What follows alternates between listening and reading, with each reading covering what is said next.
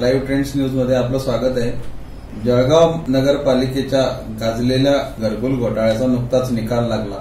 गेल्या चौदा पंधरा वर्षापासून सुरू असलेल्या या खटल्याचा निकाल जनतेला अपेक्षित असाच लागल्याने जळगाव शहरात असलेल्या आणि संपूर्ण देशात सुप्रसिद्ध असलेल्या खानदेश मिल कामगारांचाही लढा गेली पस्तीस वर्षे सुरू आहे. तर हा लढा नेमका काय आहे?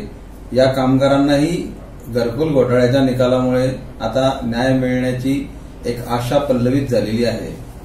तर या संदर्भात चर्चा करण्यासाठी आज आपल्यासोबत खानदेश मिल कामगारांचे काही प्रतिनिधी आहेत. त्यामध्ये राष्ट्रीय गिरणी कामगार संघाचे माजी जनरल सेक्रेटरी सूर्यकांतजी पाटील उर्फ एस आर पाटील आपल्यासोबत आहेत. त्यानंतर कामगारांच्या इमारतीचे विश्वस्त मधुकर भिगा बागुल आपल्यासोबत आहेत. आणि या मिल कामगारांच्या लढ्याचे साक्षीदार आणि वेळोवेळी या संदर्भामध्ये वृत्तपत्रामधून आवाज उठवणारे ज्येष्ठ पत्रकार सुरेश उज्जैनवालजी आज आपल्यासोबत आहेत. मी सगळ्यांचं स्वागत करतो आणि आजच्या चर्चेला सुरुवात करतो. माझा पहिला प्रश्न एस आर पाटील सरांना आहे की खानदेश मिलचा लढा नेमका काय? आणि ही मिल बंद पडली याची नेमकी कारण काय होती? खानदेश मिल अठराशे चौदा स्थापन झाली होती. एकशे दहा वर्ष खानदेश मिल सुरळीतपणे चालू होती. एकोणीसशे सत्याहत्तर साली आणीबाणी असताना मिल बंद पडली. त्या काळामध्ये माजी मंत्री सुरेश जैन यांनी ती मिल विकत घेतली. आणि किती घेतली विकत? फक्त सतरा लाखाला. सतरा लाख विकत घेऊन त्यावेळेला त्यांनी समोर येऊन कामगारांना सांगितलं की मी भोका माझ्या कामगारांना भुकामरू देणार नाही. आणि एकोणीसशे सत्याहत्तरपासून तर फक्त एकोणीसशे चौऱ्याऐंशी पर्यंत सात वर्ष मिल चालवली. यांनी मिल का घेतली होती ती? यांना मिलची इतकी जागा आहे. मिलची मी सांगतो आपल्याला जळगावला पिंपराळा रोड आहे. पिंपराळा रोडला तिथे सदोतीस एकर जागा आहे. तिथून आम्हाला मिलचं पाणी येत होतं. म्हणजे मिलला जे पाणी लागत होतं पाणी येत होतं आम्हाला. ती सदोतीस एकर जागा. इकडे मेरून तलाव सतरा एकर जागा. इकडे आपलं नेरून मेरून तलावाच्या मागे जागा आणि मिलची पूर्ण जागा. म्हणजे पूर्ण जागा त्यांनी हडप करून आणि शेवटी मग काय केलं त्यांनी? मग घरकुल घोटाळा घरकुल घोटाळ्यामुळे काय झालं? शेवटी त्यांना त्याचे फळं मिळाले. आता आमची मागणी आहे कामगारांची की आम्ही आज पस्तीस वर्षापासून आज आमचे जीवन कसे जगतो आम्हाला कल्पना देते. तर त्याच्यामध्ये आम्ही काय ठरवलं आता की आम्हाला आमचा न्याय मिळाला पाहिजे. आता नुकताच जळगाव डिस्ट्रिक्ट जजांचा निर्णय दिला सानप साहेबांनी निर्णय दिलेला आहे की ही जागा सरकार जमा झालेली आहे. आणि त्याच्यावर त्यांनी अपील केलं आहे आता औरंगाबाद हायकोर्टामध्ये. ते आम्ही लढतोय. तर आमचं म्हणणं एकच आहे की इतक्या तुम्ही लोकांना घरकुल घोटाळा. अनामुक म्हणून आम आमचे घर कुठे गेले एक मिल कामगार पस्तीस वर्षापासून घरी काहीच नाही त्यांना हा लढा नेमका कोणत्या टप्प्यावर आलेला आहे तुमचा? आता तुम्हाला नेमकी अपेक्षा काय आहे? म्हणजे तुम्हाला न्याय मिळावा म्हणता तुम्ही तर नेमकं काय न्याय मिळावा? आमची अपेक्षा एकच आहे की ही जी खानदेशमधली जागा आहे ही सरकार जमा झाली पाहिजे तिथं आम्हाला हिस्सा मिळाला पाहिजे कामगारांना. एक तिथं हिस्सा कायद्याने दिलेला आहे. निकाली लागलेले अनेक कोर्टाचे. बॉम्बेला सगळ्यांना घरं मिळाले आज तुम्ही पाहत आहे. सगळे पत्रकारांना माहिती आहे बॉम्बेला घरं मिळाले प्रत्येकाला. आम्हाला कुठे घर आहे घरकुल कुठे? घरकुल कोणाला देत आहे म्हणजे कुठे घरकुल त्यात अडचणी काय आहेत सध्या आता? अडचणी काय आता? अडचणी कोर्टाच्या अडचणी सगळे काय आता? म्हणजे नेमका कुठल्या टप्प्यावरती हा खटला जो आहे तो कुठल्या टप्प्यावर आलेला आहे? हायकोर्टात चालू आहे? हायकोर्टात पेंडिंग आहे. अच्छा. हायकोर्टात पेंडिंग आहे आता. हायकोर्टात पेंडिंग तीस तारीख तारीख आहे म्हणजे- आता आता यांनी काय केलं माहितीये का. आता सरकारच्या नंतर इतकं बांधकाम चालू केलंय. अकराशे कोटीचं बांधकाम चालू केलं रोडाने. जर फोटो काढा म्हणजे काढून घ्या. अकराशे कोटीचं बांधकाम चालू केलंय का? आता हे दंड भरणं आहे. एक एक एक कोटी कामगारांची संख्या. खानदेश मिलमध्ये एकूण कामगार किती होते? जेव्हा ही मिल बंद. पडली तेव्हा. एकोणतीसशे सहा. आणि त्यांचं नंतर काय झालं? एकोणतीस सहाचं काय झालं? आता तुम्हाला सांगू आता काही गोष्टी नाही बोलता येणार मला. काही गोष्टी नाही बोलता येत. आणि हे काय असतं. वास्तविक तुम्ही जर मिल घेतली होती आणि आज तुम्ही जर कामगारांचा भला केला तर कुठल्या कुठे पहिल्या इलेक्शन आम्ही निवडून आणलं यांना सगळ्या कामगारांनी आम्ही निवडून आणलं. आणि नंतर आम्हाला धोका दिला पुन्हा. पुढचा प्रश्न आपल्या बागुलजींना विचारू इच्छितो की मिल बंद पडण्याच्या वेळेची परिस्थिती कशी झाली? होती कामगारांची त्यावेळेला म्हणजे आता तुम्ही सगळे एवढे तीन हजार लोक साधारण बेरोजगार झाले असं आपल्याला पाटील साहेबांनी सांगितलं. तर त्यानंतर गावामध्ये किंवा तुमच्या काम मिल कामगारांच्या कुटुंबामध्ये काय परिस्थिती निर्माण झाली होती? त्याचं तुम्ही जरा थोडक्यात आम्हाला माहिती द्या. कामगार म्हणजे बेघर झाले त्यांना बिल बंद पडले पण का- काम कुठे नाही जाणार. आणि एमआयडीसी आता एमआयडीसीच्या पुढे काम करतो आता कांद्याची कांद्याची म्हणलं त्या कामगारांना इथे काम मिळत नाही. अशी परिस्थिती झाली. म्हणजे थोडक्यात त्यांच्यावरती बेरोजगारीची हा, सांभाळण्याची. परिस्थिती निर्माण झाली होती. नाही ऑर्डर दिली होती तो कांद्याची कामगार कामाला नाही बा. अच्छा. पुढे पुढे काम काम बा कांद्याची काम नाही बा आता काही त्याचा बहाणा पण त्यांना कामाला दिली. शेवटी मग पुढे कुणी मारगाव कुणी भिवंगी कुणी पुढे पुढे काम तसं बसत म्हणजे गावाला इलाज नाही. त्यामुळे नाही जावं लागलं. तुमचा म्हणजे खानदेश मिलचा कामगारांचा जो लढा आहे. हा गेली पस्तीस वर्षापासून सुरू आहे. तर या लढ्यामध्ये अनेक वेगवेगळे टप्पे आले असतील. कधी तुमच्यावरती दबाव आला असेल कधी काही झालं असेल. कधी तुम्हाला काही वेगवेगळ्या प्रकारचे प्रलोभनं दाखवले गेले असेल तर नेमकं काय झालं? काय घडलं? की कोणी तुम्हाला सपोर्ट केला कोणी विरोध केला? तर हे टप्पे जे हे तुम्ही सांगा. मी सांगतो. हो तुम्ही सांगा. सगळ्यात सपोर्ट करायचं सगळ्यात पहिले मी माझे गुरुवर मधुकर चौधरींना प्रणाम करतो. स्वर्गीय मधुकर चौधरी. ते होते म्हणून आज आमचा लढा जिवंत आहे. आणि नंतर आम्हाला मदत करता शेष मधुकर चौधरी. स्पष्ट बोलतो आपल्याला मी. आहे का? त्याने सांगितलं होतं मला तू लढ तुझ्या मागे आम्ही उभे आहे. आणि आजही त्या मला मदत करताय माझी वैयक्तिक सांगतो मग मी आज वास्तविक मी आज तो वय झालं माझं अजून मी त्यांच्या कॉलेजला सर्व्हिसला आहे. पाच हजार महिन्यात देतात मला मी. त्यांनी गाडी घेऊन दिली आहे मला. म्हणजे आणि ते मतदान युनियनचं काम कर फक्त. त्यांच्यामुळे सगळं काही काम चाललेलं आहे. आणि ते त्यांनी काय सांगितलं होतं की आजो लढा लढा सुप्रीमपर्यंत न्यायला पाहिजे आपण. कारण काय असतं सुप्रीमपर्यंत आज तुम्हाला सांगतो मी सुप्रीममध्ये किती फी घेतात आणि तिथे किती फी लागते. पण ते साहेबांचं कसं साहेबांचं वजन इतकं होतं. की काय आम्ही म्हणजे इतके मोठे मोठे वकील लावले की अटॉर्नी जनरल के के वेणुगोपाल चिदंबरम हे आमचे वकील होते. ते बाळासाहेबांमुळे. आणि सुरजनने पण मग सुरजन कपिल सिब्बल वगैरे असे वकील लावायचा तो म्हणजे तरी लढलो आम्ही जिंकलो शेवटी सुप्रीम कोर्टामध्ये तुम्ही आता थोडा वेळ म्हणले की हायकोर्टामध्ये मॅटर पेंडिंग आता हायकोर्टात माझी पेंडिंग मी. नाही सुप्रीम आधीच. आधीचं. ऋणांनी मिटलं सगळं आता. हे हायकोर्टात नवीन प्रकरण टाकलं आता. सरकारी अहो माझ्याकडे रेकॉर्ड आहे. गव्हर्नमेंटचा रेकॉर्ड आहे. ही जी मिल होती ही मिल सरकारी आहे. कशी सरकारी आहे? म्हणजे शंभर वर्षाच्या कराराने यांना दिलेली मिल मुलगी अठरा शंभर वर्षात कराराने दिल्यानंतर दरवर्षी याचं म- महसूल वगैरे भरत होते. आणि शंभर वर्षात करार दिल्यानंतर मग मग ते करार संपला. आता करार एक- अठराशे एकोणमध्ये म्हणजे करार संपला त्याचा. म्हणजे पण याच्यामध्ये आणि करार संपल्यानंतर मग मी तर तुम्ही जमा करायला पाहिजे ना. याने जमा केली नाही. पुरे पाठ करून एकूण चुकून मोकळं करता येते आणि माझ्याकडे रेकॉर्ड आहे.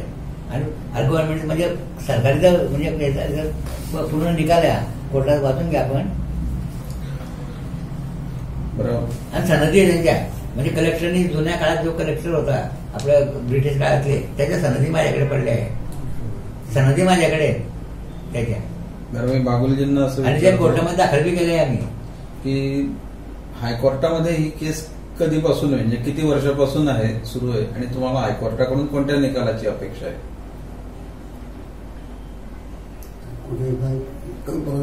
रस्ता शनिवार काय नाही करणार ते. हायकोर्टात आता कोणती केस चालू ही केस. आहे. हा. असं आता त्याचा काय निकाल आता काय आता तारीख लागली आता आता तारखेला तर समजेल आता कोर्ट कोर्टाचं काय. कधीपासून अं, ते नेमकं- आताच तारीख दाखल ते आता हा. म्हणजे म्हणजे काय झालं ते जळगाव निकाल माझ्या बाजूला लागला त्यांनी अपील केला त्याच्यामध्ये अच्छा हा. आणि स्टे घेतला त्यांनी. आणि बांधकाम वगैरे जोरात चालू करायचं बा हम्म. माझा पुढचा प्रश्न उज्जैनवालजींना आहे की खानदेशमील कामगारांच्या लढ्यामध्ये राजकीय हस्तक्षेपाचा काही विषय आहे का? आणि नेमकी त्याची राजकीय पार्श्वभूमी काय आहे या लढ्याची ते तुम्ही आमच्या प्रेक्षकांना थोडक्यात सांगा. खरं म्हणजे खानदेश मिल आणि खानदेश मिलच्या कामगारांचा जो काही लढा आहे याला मधुकरराव चौधरी स्वर्गवासी बाळासाहेब मधुकरराव चौधरी यांनी जे सहकार्य केलं जे पाठबळ दिलं ते इतर कोणत्याही नेत्याकडून मिळालं नाही. त्याला अपवाद एकनाथराव खडसे काही काळ एकनाथराव खडसेंनी देखील माजी मंत्री एकनाथराव खडसे यांनी देखील या कामगार मंडळींना त्यांच्या संघटनेला शक्ती देण्याचा प्रयत्न के- केला सामाजिक भावनेतून. पण राजकीय दृष्ट्या हा विषय जिल्ह्यात कधीच चर्चेला गेला नाही. खानदेश मिल बंद पडणे खानदेश मिलच्या कामगार कामगार देशोधडीला लागणे किंवा कामगारांचा जो काही लढा आहे त्याला ना सामाजिक सहकार्य मिळालं ना राजकीय सहकार्य मिळालं. प्रत्येक राजकीय पक्षाने आपल्या त्या त्या काळात त्या त्या वेळात आपल्या भूमिका सोयीच्या ठेवल्या त्यामुळे हा मुद्दा कधीही राजकीय होऊ शकला नाही. हा भाग वेगळा आहे. की भाषणांमधून काही नेते म्हणायचे की खानदेश मिल बंद पडलेली आहे. पण तो फक्त मुद्दे आणि प्रश्नांपुरताच होता. तो प्रश्न सोडवण्यासाठी खानदेश मिलचा प्रश्न सोडवण्यासाठी किंवा कामगारांना न्याय मिळवून देण्यासाठी ज्या पद्धतीने ज्या भूमिकेतून कैलासवासी बाळासाहेब मधुकरराव चौधरी यांनी जी मदत केली तशी राजकीय व्यासपीठावरून खुलेआमपणाने मदत केली गेलेली नाही. ही या गिरणीची आणि या गिरणी कामगार संघटनेची शोकांतिका म्हणता येईल. म्हणजे थोडक्यात राजकीय पाठबळ न मिळाल्याने हा लढा जास्त लांबला आहे किंवा न्यायाला उशीर होतोय असं तुम्हाला एका बाजूने म्हणायचंय? न्यायालयाला उशीर तर मी म्हणणार नाही परंतु हा एकाकी लढा आहे. आणि तो लढा लांबण्याची कारण आहे कारण हे सर्व बाजूने दुबळे आहेत. लढा लढण्यासाठी ज्या शक्तींची गरज असते ती यांना मिळालेली नाही. ते आपल्या जोरावर लढत राहिले. मधुकरराव चौधरी किंवा एकनाथराव खडसे यांनी जे काही मदत दिली आहे त्या बळावर एक काही अंतर चालले.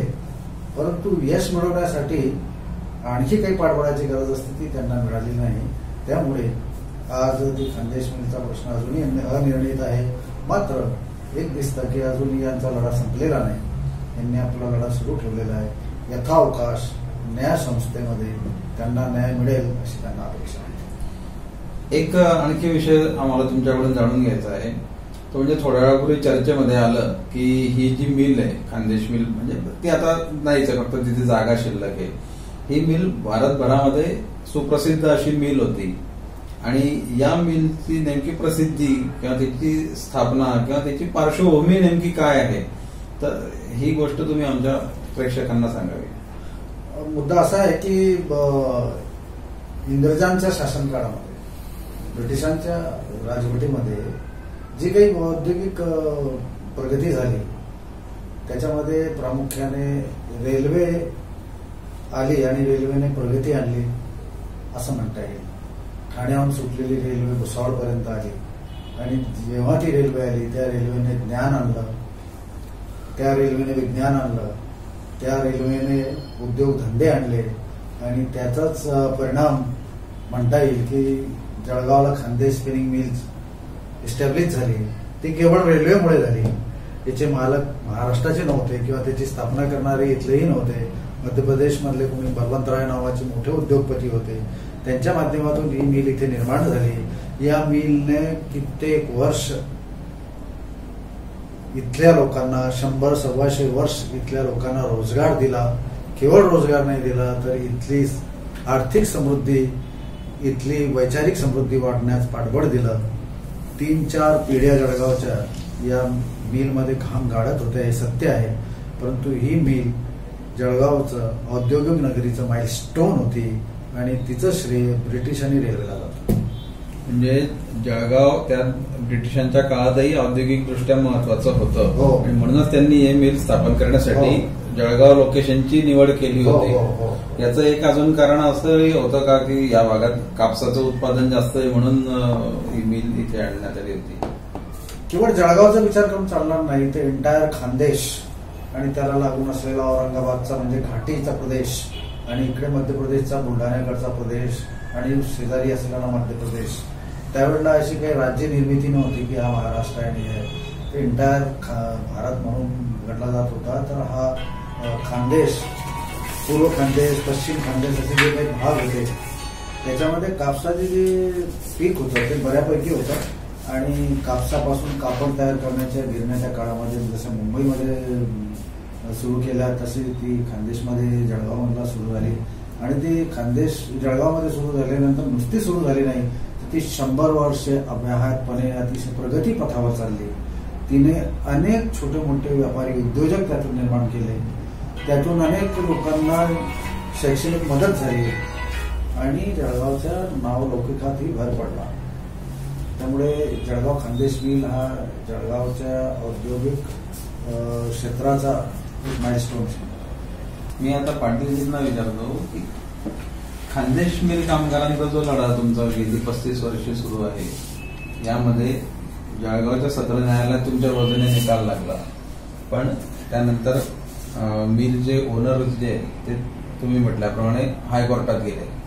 तर आता हायकोर्टामध्ये हा लढा लवकरच म्हणजे तिथे काय होतं निर्णय हे समजण्याची शक्यता आहे. तर तुम्हाला तिथून काय अपेक्षा आहे? हे पहा.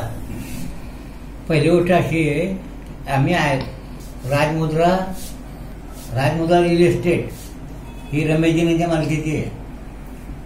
आणि त्यांनी त्याच्यामध्ये मला दुसऱ्यानं दाखवलं आहे मालकी सगळी त्यांची मिल त्यांनी खरेदी केली. आणि ही जी मिल आहे ही खानदेश मिल सरकारी जागा आहे एक जळगावच्या ॲडव्होकेट आपले न्या- न्यायमूर्ती सानप साहेब यांच्या कोर्टामध्ये निकाल लागलेला आहे. याच्यावरती राजमुद्रा यांनी औरंगाबाद हायकोर्टात अपील केलेलं आहे. आणि अपीलमध्ये त्यांनी तिथून स्टे घेतलेला आहे. ते कशावर घेतला त्यांनी? की जळगाव कोर्टाने निकाल दिलेला होता त्याची चौकशी करावी. तीन महिन्याच्या आत त्याची चौकशी करावी.